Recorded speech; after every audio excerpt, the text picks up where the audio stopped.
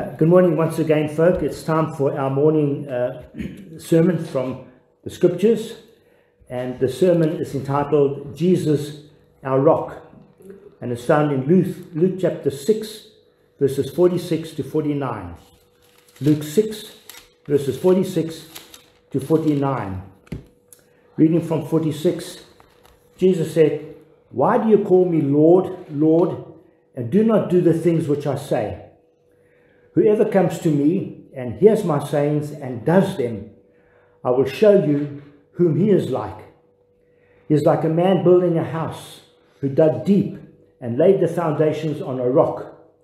And when the flood waters rose, the waters rose and they beat against that house and could not move it, for it was founded on a rock.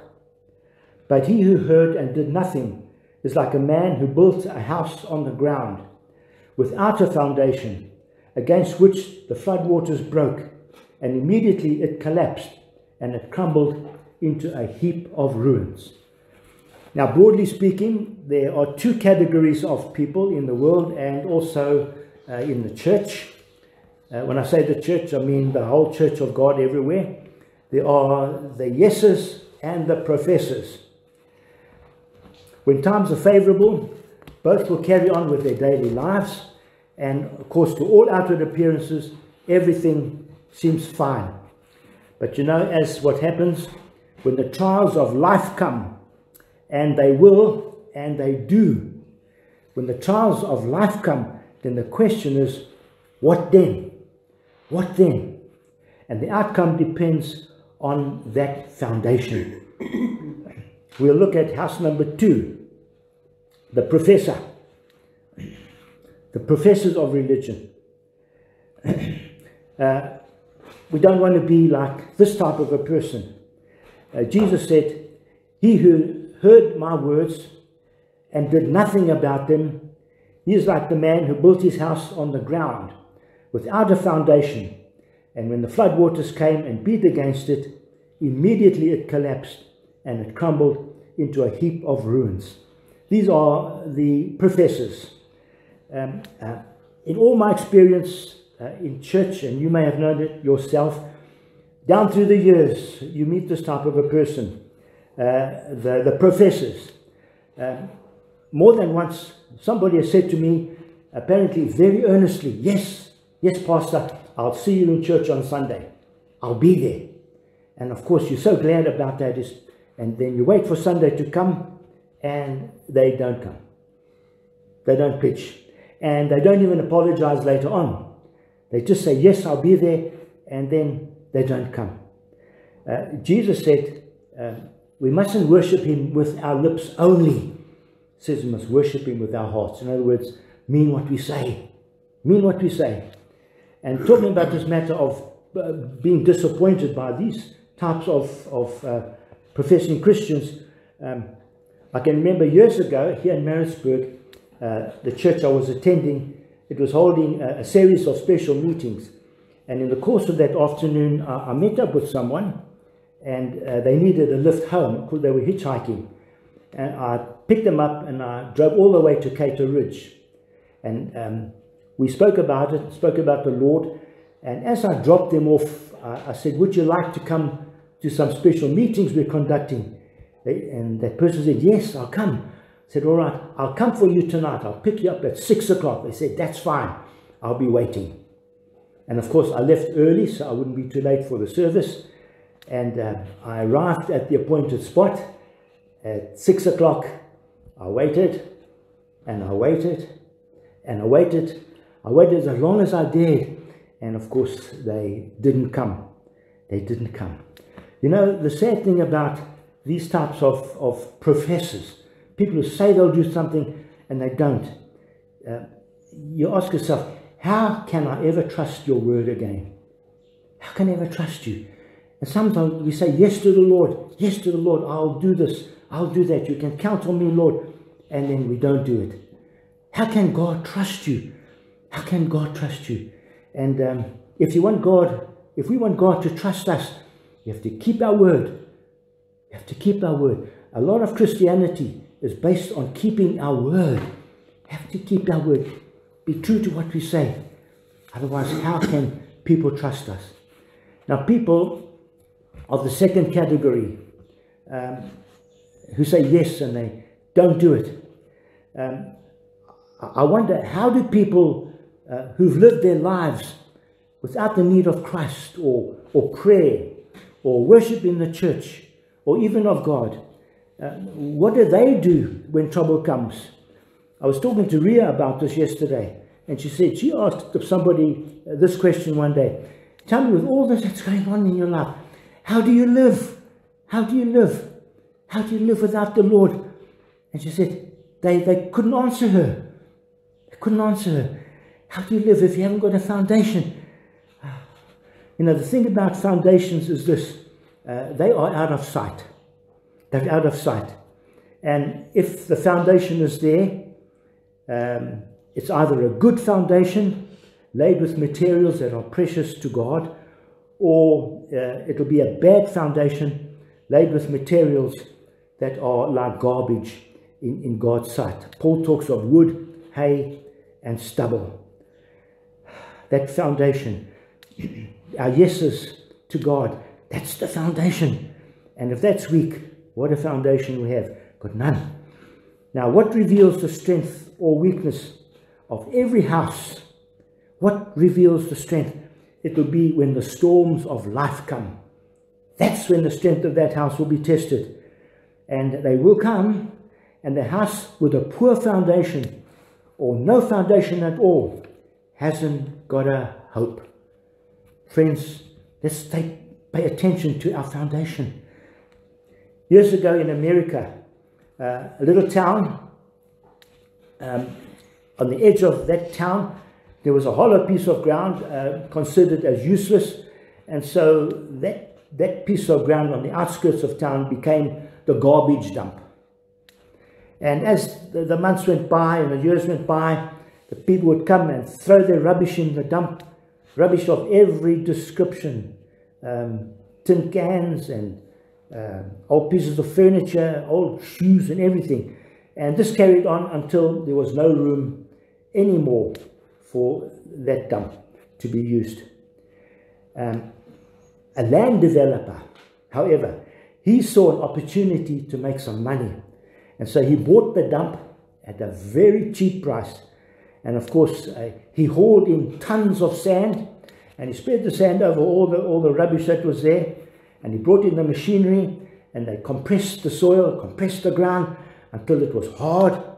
And then um, when that area was, was finished, he leveled it off and he had produced a site that appeared to be attractive. And of course, no sign of the rubbish underneath was visible. He brought in his builders, and in no time they built many houses. It became a nice little suburb. They laid out the roads and the parks and everything. Oh, it was a, a nice place to live and the, the houses sold like hotcakes. This is where everybody wanted to live. And soon there was a thriving community living in the houses built on the land that had once been a rubbish dump. Under the houses were old tin cans and all other kinds of rubbish. And of course, the years went by, and then a gradual change came over that once happy community. They noticed that their walls of their houses started to crack. Um, the roofs started to sag in. uh, the roads outside um, gave way and, and holes appeared in the road. The whole place seemed to be uh, disintegrating. Uh, what was happening? The subsoil underneath was moving. After a while, that once lovely area, it was abandoned and the old time residents who knew the secret of that place, they shook their heads. They knew what the others didn't. Those homes had been built upon garbage. upon garbage. And our lives are like that too, you know. We can build it on garbage. Being disloyal to the Lord and so forth. You know, people who say they love Christ and have never accepted Him, in the end, they don't amount to much. a house with a bad foundation. Now, the other house, the house with a good foundation, uh, if you read the scriptures, the Bible says, and Jesus said, This is the house that's built on the rock. Um, these are those who, who love Christ um, and they show it by their lives, and it, it's, it's wonderful to behold. And in John 14 21, Jesus said, The one who obeys me, this is the one who loves me. Obedience is what God calls for. And obedience is, is, is what's included in the foundation. And this one who obeys God, the one who loves Him, uh, in 1 Corinthians 3, verse 11, Paul says, This is the one whose foundation is Christ. And if you read on in 1 Corinthians 15, Paul uses the words like, They are steadfast and they are immovable. Uh, and when the storms of life come and, and batter against uh, the building of their lives, uh, when it's all over, he's still standing. I saw a clip on TV once about this area where a great flood had swept through the valley and everything in its path was swept away. And there, unbelievably, on a pillar of rock about 20 feet up, was this house on this pillar of rock as though nothing had happened. Everything around it was devastation, except this house, which was built on the rock. You see, that rock, it was hidden by the foundation, by the soil and everything that was around it. And when, when the time came, it was the only survivor. But the only survivor. Friends, there is coming a time when the storms of life are coming, the judgment of God. The ones who will stand and withstand will be the ones whose foundation is Christ. the yeses. Now, if you read the Bible, especially many characters in the Old Testament, um, they were the yeses. When you think of Abraham, you can find his testimony in Gen Genesis chapter 22. Abraham had an only son. He loved him very much. His name was Isaac. And uh, in verse 1, we read that God came to Isaac one day and he said, I want you to take your son Isaac and I want you to sacrifice him to me on one of the mountains of Moriah. What would you say? What would you say? You'd recoil in horror. No, Lord, never. Unthinkable. God said to Abraham, This is what I want you to do. And Abraham, without hesitation, if you read the, the scripture, he simply says, Yes, Lord. Yes, Lord. Um, Abraham, uh, the rule of Abraham's life was yes. Yes, Lord. Um, and at this time, severely tested, God asks him to do something which no person, no parent could ever do. But Abraham says yes to the will of God.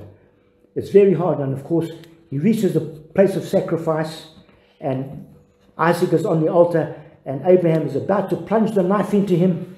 And, and God sees this, this guy's serious. He's going to obey me. He's actually going to do it. And God has to hurry. And, and God calls out from heaven, Abraham, wait, wait. And he sends an angel to hold his hand back. Abraham was actually going to do it. Yes, Lord. He was God's yes man. He was God's yes man. Even to the point of going all the way. And you know, Abraham trusted God so much. That's why he could say yes quite easily to the will of God. He trusted God so much, he believed afterwards, if you read in Romans, he actually believed that God would raise Isaac from the dead again. That's why he knew he could go through it, as God raised his own son up from the dead. The rule of Abraham's life to the will of God was, Yes, Lord. And the rule of the Lord Jesus Christ, the Son of God, the rule of his life to his heavenly Father was the same. Yes, Lord. Yes, Lord. And of course, Abraham has got that, that wonderful title now. The title above all earthly titles. He's called the friend of God. The friend of God. And you know, God never tested him like that ever again. God didn't have to because he knew Abraham loved him. and in verse 18, 22, God says, In your seed, all nations of the earth shall be blessed because you have obeyed my voice. Do you know of any Christians who are like this? Their whole life is, yes, Lord, yes, Lord, yes, Lord. You might have known some in your own church uh, where you may be. Um, uh, there are those people, the yes, Lord types. Oh, what a blessing they are. What a tremendous blessing they are. These are the guys and the people who have a solid foundation. They are the solid, they're the solid ones. And God loves them and He uses them because He can trust them. People who are an inspiration to us are people, I mean believers, who have a foundation. They are the yes, Lord people, and they do what God says. These are the ones that we want in our churches uh, and that God would want in our churches. Oh, but who's outnumbered? The yes lords or the professors? Uh, let's pray that it's, it's the yes lords. Let's pray that it's them.